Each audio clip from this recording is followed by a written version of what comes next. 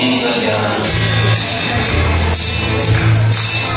So because it's my business, nobody's wrong when that's the end. Once more, I'm a super demon, that's my life, so my love is. I don't